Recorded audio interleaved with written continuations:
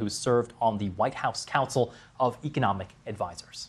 It's been another year where a cost of living crisis and affordability crisis has been troubling many Americans as it has around the world. But if we focus just here on the situation in the US, is next year likely to be any better? Well, I think people realize that the inflation is coming down in 2023, and people are expecting that to continue into uh, 2024. What has been the troublesome issue in the US is that incomes have not kept up with inflation, so your real purchasing power of your earnings or your wages have gone down. the paycheck of people don't reach as far, and that's been the real sort of cost of living crisis that we've had the last couple of years in the U.S. But yet, at the same time, unemployment has been at a record low as well.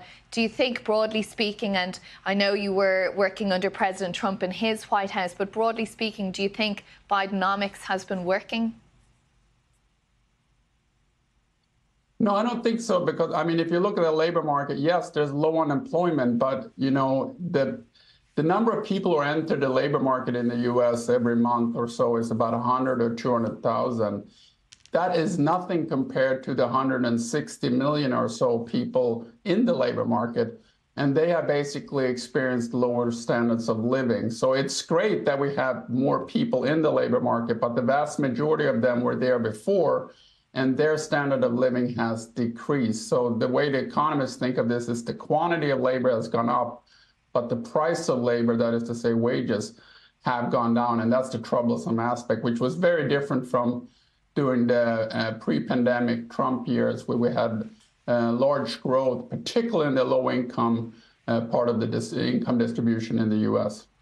And that situation you describe with the wages not keeping pace with cost of living, is that why we've seen so much sort of activism in the labour market or in labour movement in 2023? So much trade union activism, so many protests, so many strikes? Yeah, there's been a tight labour market, meaning that job openings have been way above the number of people who want to go to work. And part of that has partly been attributable that we paid people a lot, even if they were not working in terms of benefits, particularly during COVID, COVID but even after COVID. So the sort of advantage to people's income if they lose those benefits when they go to work has been less than it's been in the past. So that keeps labor supply uh, held back essentially. And when labor supply is held back, there's a tight labor market. There's more demand for labor than, and, than supply that has given sort of unions the room to operate in some sense because you know you can't have a union when you have a lot of uh,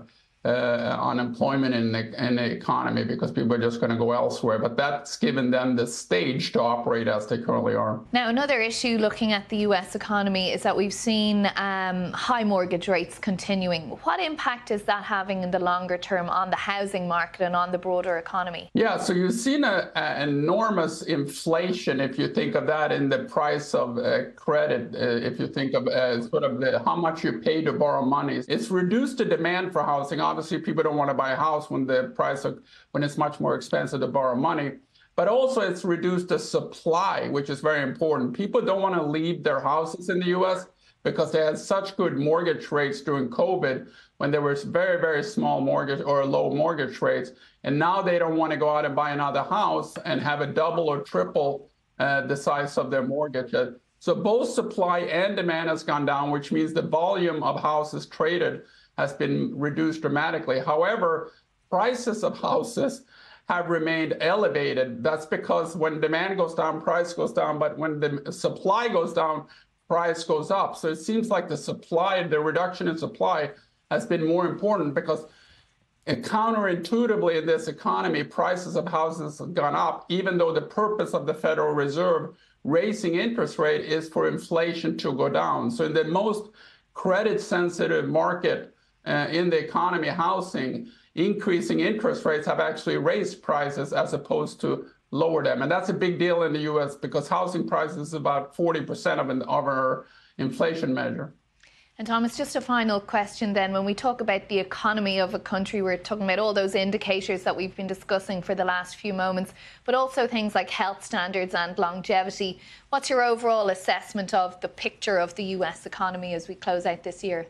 Well, it's looking better than we than when we started 20, 2023 for sure, but it's a lot worse than pre-pandemic, put it that way. So I think the reason the Biden administration is getting so low rankings on how they have favored or how they have steered the economy is because people still have in mind the 2018 the 2019 economy had enormous gains in wages, in real wages, purchasing power of wages for workers, uh, low interest rates, and other aspects of policy, not necessarily only economic policy. Our border was much more secure at the time. We didn't have any wars. Now we're in two wars, essentially. So I think a lot of people are frustrated with what has happened after COVID when they compare it to 2018, 19, and, and 17 to 19, essentially. Okay, we leave it there for the moment. Tomas Philipson, the former acting chair of the White House Council of Economic Advisers under President Trump, thanks indeed for joining us on BBC News. Thank you.